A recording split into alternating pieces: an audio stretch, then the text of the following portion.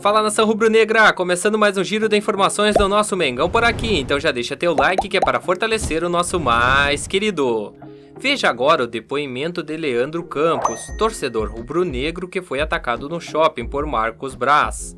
Abre aspas. Eu estava passando no shopping, eu trabalho ali. Sou entregador e trabalho de bicicleta. Ouvi dentro da loja e falei a seguinte palavra: Marcos Braz, sai do Flamengo. Virei as costas e saí andando em diagonal no shopping. Quando percebi que estava vindo atrás de mim, foi porque o lojista gritou, aspas, menino, ele está indo atrás de você.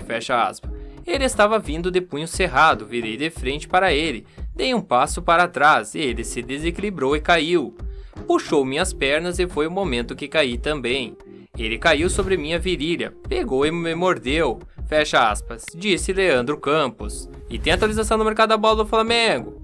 Uma notícia que está movimentando o mercado da bola é a possível volta de Luiz Gustavo ao futebol brasileiro em 2024. O experiente jogador, que construiu uma sólida carreira internacional com passagens marcantes pela seleção brasileira e pelo Bayern de Munique, atualmente se encontra sem clube, deixando em aberto seu futuro profissional.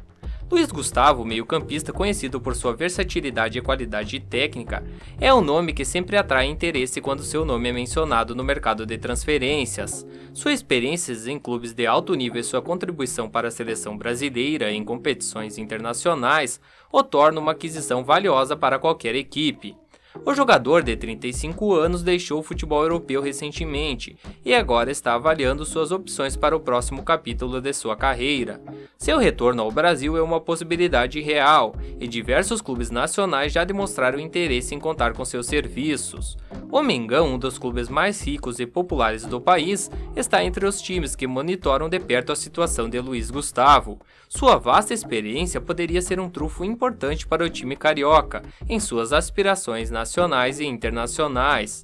A possibilidade de Luiz Gustavo jogar no futebol brasileiro é empolgante para os fãs, que se lembram das atuações destacadas do jogador com a camisa da seleção brasileira.